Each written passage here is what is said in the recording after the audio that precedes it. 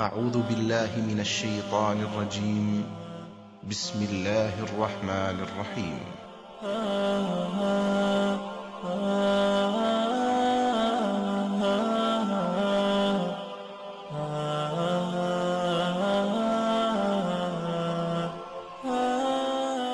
ওয়ালাইকুম আসসালাম রহমতুল্লাহ ওবরাকাত ইন্তাজ শেখ মোহাম্মদী ভাই ভারতের পশ্চিমবঙ্গের বীরভূম থেকে জানতে চেয়েছেন রাগ সম্পর্কে ইসলামের বিধান কি জি প্রথম কথা হচ্ছে যে রাগকে কন্ট্রোল করা, এটা হচ্ছে শরীয়তের সর্বোপরি বিধান। রাগ কন্ট্রোল করতে হবে। তারপরে বলছি, আল্লাহ রসুল কোথায় কোথায় রাগ করতেন বা কোথায় কোথায় আমরা রাগ করতে পারি সেটা পরে বলছি।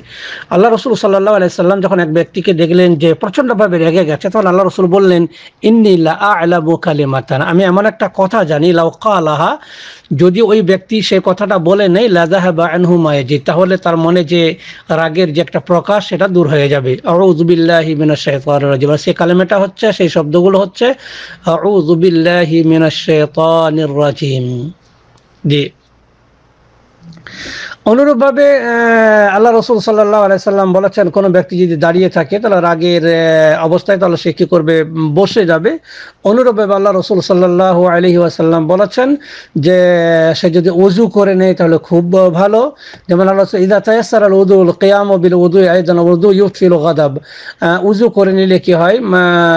রাগ কমে যায়। কারণ রাগটা হচ্ছে একটা আগুনের মতো। আর উজু করে নিলে সে আগুনটাকে নিভিয়ে দেওয়া হয়। মোট কথা যে সমস্ত কারণগুলোতে আল্লাহ রসুল সাল্লাম এর কাছে এক সাহাবি এলেন, আল্লাহ রসুলকে বলেন রসুল্লাহ আমাকে কিছু উপদেশ দিন। আল্লাহ রসুল বললেন, লা তাকদাব তুমি রাগ করো না। আবার বললেন রসুল্লাহ আমাকে কিছু উপদেশ দিন। তিনি বললেন, লা তাকদাব তুমি রাগ করো না। কারণ রাগ করলে যে অনেক অনেক ক্ষতি হয়, সেটা আল্লাহ রসুল জানতেন, আমরাও জানি। আমরাও অনেক জানি রাগের সময় অনেক আমরা ক্ষতি করে ফেলে নিজেদের। যে ভাতের থালা ছুঁড়ে ফেলে দিই, অনেক ঘরের অনেক জিনিসপত্র ভেঙে চুরমার করে দিই। অনেক সময় আমরা সমাজের অনেক মানুষকে দেখেছি, তারা তাদের স্ত্রীদেরকে তালাক দেয় রাগের অবস্থায়। আর তারপরে তারা ফতোয়া নিতে আসে, বলে রাগের অবস্থায় আমি আমার স্ত্রীকে তালাক দিয়ে ফেলেছি। মোট কথা রাগে যে পৃথিবীর অনেক অনেক ক্ষতি হয়, এটা আমরা কিন্তু ভালোভাবেই জানি। আর যার কারণে আল্লাহ রসুল এক সাহাবিকে বারবার বললেন, রাগ করো না, রাগ করো না, রাগ করো না, রাগ করো না। রাগকে কন্ট্রোল করা, এটা হচ্ছে একজন মুসলমানের কর্তব্য। আমরা জানি আল্লাহ রসুল সাল্লাহ আলী আসাল্লাম বলেছেন যে তোমাদের মধ্যে সব থেকে বড় বাহাদুর ওই ব্যক্তি যে রাগকে কন্ট্রোল করতে পারে। যে রাগকে, রাগের মাথায় কিছু এমন কিছু করে ফেলে না, তারপরে হয়তো তাকে সেই কাজের জন্য তাকে লজ্জিত হতে হবে। এগুলো হচ্ছে প্রথম কথা। দু নম্বর কথা হচ্ছে যে আল্লাহ রসুল সাল্লাহ আলী ওসাল্লামও অনেক সময় রাগ করেছেন, বিশেষ করে শরীয়তের দিক দিয়ে। যে কোনো লোক মদ খাচ্ছে, না আপনি তাকে মদ খেতে দেখছেন, আপনি চুপচাপ মুচকি হাসবেন যে না তখন আপনি রাগ করবেন।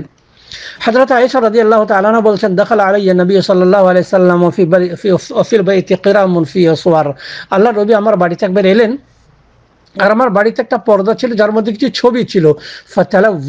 আল্লাহ রসুলের রং চেহারা রং পরিবর্তন হয়ে গেল, লাল হয়ে গেল। সুম্মা তানাওয়ালা সিতরা তারপর আল্লাহ রসুল সেই পর্দাটা হাতে নিলে এবং ছিঁড়ে ছিঁড়ে কি করলেন ফেলে দিলেন? ও কালত। তারপর হাজরত আয়েশা বলছিল, কাল নবী সাল্লাহ আলি সাল্লাম নবী সাল্লামের উপরে বললেন, মান মিন আসাদ্দিন না সে আজাবান কেয়ামতের দিনে সব থেকে বেশি আজাব দেওয়া হবে আমার কেয়ামতে, কেয়ামতের আল্লাহ দিন ইউসফিরুন হাদিস সুবার, যারা এই সমস্ত ছবি কি করে? ব্যবহার করে বা ছবি তুলে। অনুরূপভাবে অন্য একটা হাদিস রয়েছে, আবু মসুদ রাজি আল্লাহ তালকে বলেন তা রাজুলুন নবী সাল্লাহ আলাই সাল্লাম একজন লোক আল্লাহ নবীর কাছে এলেন আর তিনি বললেন ইন্নিলা আতাখারো আন সলাতিল গাদাতি মিন আজলে ফুলানিন, মিম্মা ইউতিল বিনা। অমুক ইমাম লম্বা নামাজ পড়ায়, যার কারণে আমি ফজরের নামাজ আমি জামাতে যাই না, আমি লেট করে পড়ি। قال আবু মসুদ বলছেন ফামা রাইত রাসুল্লাহ সাল্লাহ আলি সাল্লাম কাত্ত আসাদ্দ গাদাবান ফি মৌদাতি মিন হইয়ামাই দিন সেই দিনের মতো আল্লাহ রসুলকে আর কোনো দিন আমি রাগতে দেখিনি। قال আবু মসুদ বলছেন فقال আল্লাহ রসুল বললেন, রেগে রাগান্বিত হয়ে বললেন, ইয়া ইহার নাস, হে মানুষেরা ইন্নামিন কুমুনাফিরিন তোমাদের মধ্যে কিছু ইমাম এমন আছে যারা মানুষদেরকে কি করে? মানুষদের মধ্যে ঘৃণাস তৈরি করে দেয়। ফাইজুকু মা সাল্লা বিন্নাস তোমাদের কেউ যখন মানুষের ইমামতি করবে, নামাজ পড়াবে ফালিয়াতা জাউওয়া সে যেন না সংক্ষিপ্ত আকারে নামাজটা পড়ায়, তার মানে যেভাবে নামাজ পড়ানো দরকার, খুব লম্বা না করে। ফাইন্না ফি হিমুল মারিদ, কারণ তার মধ্যে না, তোমার যারা মুক্তাদি তোমার পিছনে যারা নামাজ পড়ছে, তাদের মধ্যে কেউ অসুস্থ থাকে, ওয়াল কাবির, কেউ হয়তো বয়স্ক থাকে, ওয়াজাল হাজা, কেউ হয়তো প্রয়োজনীয় পাইক পেচ্ছা, পায়খানার হয়তো হালকা বেগ নিয়ে এসে এসেছে নামাজটা পড়ে, তারপরে বাথরুমে যাব, এরকম সেই জন্যে নামাজ যথাভাবে, যথাসম্ভব কি করবে? হালকা পড়াবে। অনুরূপভাবে একটা হাদিস আছে যে, বাইনামা নবী সাল্লাল্লাহু আলাইহি সাল্লাম ইউসাল্লি, আল্লাহ রসুল একদিন নামাজ পড়াচ্ছিলেন, রাআ ফি কিবলাতিল মসজিদে নাকামা। মসজিদের কিবলার দেওয়ালে একটা নাকের যে ময়লা, নাক থেকে যে ময়লা বেরোয়, সেটা দেখলেন। ফাহাক্কাহা বিয়াদিহি, আল্লাহ রসুল সেটা হাত দিয়ে মুছিয়ে দিলেন, তার মানে সেটাকে পরিষ্কার করলেন, ফাতাগাজ্জাদ। আর আল্লাহ রসুল রাগে একদম অগ্নিশর্মা হয়ে গেলেন। সুম্মা কাল তারপর তিনি বললেন, ইন্না আহাদাকুম ইদা কানা ফি সালাত। তোমাদের কেউ যখন সালাতের ভিতরে থাকে ফাইনাল্লাহ তখন সে যেন আল্লাহর সামনে থাকে।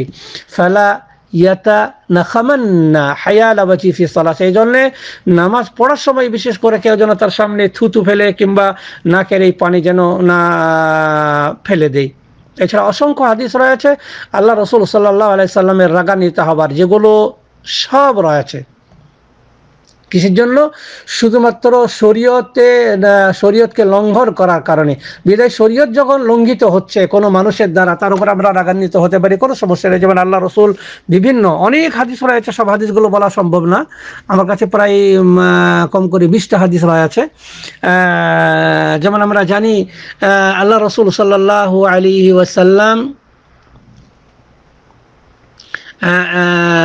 আল্লাহ রসুল সাল্লাহ আলী ওয়াসাল্লাম একবার ইয়াজিদ জোহানি থেকে বর্ণিত, জাইদ ইবনে খালিদ জোহানি থেকে বর্ণিত, আল্লাহ রসুল সাল্লাম আনিত, আনিল লুকতাতি ফাকাল। আল্লাহ রসুল আবার লুকতা সম্পর্কে, তার মানে কোনো জিনিস রাস্তায় পড়ে থাকে, এরকম কোনো জিনিস আমি নিতে পারব কি না, এটাকে লুকতা বলা হয় এই সম্পর্কে। তখন আল্লাহ রসুল বলে আর রিফা সানাতান, তুমি এক বছর ধরে কি করো সেটার প্রচার করো। তুম্মা আরিফ ওয়াকাহা বা ইসাফাহা, তারপরে তুমি তার গিরা বাঁধন তার মানে যে থলেটি ছিল সেই থলেটা, সেই বাঁধনটা সম্পর্কে তুমি এক বছর ধরে কি করো? প্রচার করো সুম্মাস্তান ফিক বিহা, তারপরে তুমি সেটা কি খরচ করো। তারপরে হাদিসের শেষে বলা হচ্ছে যে উট যদি আমি কুড়িয়ে পাই, তাহলে উট উট, উটের ব্যাপারে করব। তখন আল্লাহ রসুল বললেন, ফাগাদে বা রসুল ইসলাম আল্লাহ রসুল এত রাগান্বিত হলেন, হাত্তা এহমার রাত বজানা বজানাতা আল্লাহ রসুলের গালগুলো কি হলো? লাল হয়ে গেল। আউ ইহমার রাবাচু কিংবা আল্লাহ রসুলের মুখমণ্ডলটা লাল হয়ে গেল। তুম্মা কাল, মা লাকাবালাহা তোমার এবং উটের সঙ্গে সম্পর্কটা কি? মা হাইজা উহা ও সিকা উহা তার পায়ের যে খুর, সেটা খুব মজবুত। ও সিকা উহা তার পেটের ভিতরে পানি, পানির থলি রয়েছে, হাত্তা ইয়াল কাহারব্বহা এমনকি তার মালিকের সঙ্গে সে কি হবে? একদিন সে মিলিত হবে। মোট কথা, উট যদি কোথাও হারিয়ে যায়, তাহলে আমি কুড়িয়ে নিয়ে আসব, সেটাকে কি করে ঘরে রাখব, এটা নয়। যাই হোক না কেন, যেখানে যেখানে রাগ করার কথা আল্লাহ রসুল থেকে প্রমাণিত, মোট কথা যে দিনের যেখানে কি হচ্ছে, দিনকে লঙ্ঘন করা হচ্ছে, দিনের ব্যাপারে সীমা লঙ্ঘন করা হচ্ছে, এখানে যেই হোক না কেন, তখন আমরা রাগ করতে পারি। কিন্তু এমনি সাধারণভাবে, জি যে আমরা সাধারণভাবে যখন আমরা আমাদের চলাফেরাতে আমরা যখন থাকি, মা বাবার সঙ্গে, স্ত্রীর সঙ্গে, ছেলে মেয়েদের সঙ্গে, তখন যথাসম্ভব রাগটাকে কন্ট্রোল করার চেষ্টা করতে হবে। আর রাগ কন্ট্রোল করার তিনটে বড় উপায় বলা হয়েছে। প্রথম হচ্ছে আউদুবিল্লাহ হিমিন শৈতানের রাজিম পড়া। কিংবা দাঁড়িয়ে থাকলে বসে যাওয়া, কিংবা বজু করে নেওয়া। এই তিনটের মধ্যে যে কোনো একটা কিংবা তিনটে যদি করা যায়, তাহলে ইনশাআল্লাহ আর রাগ থাকবে না।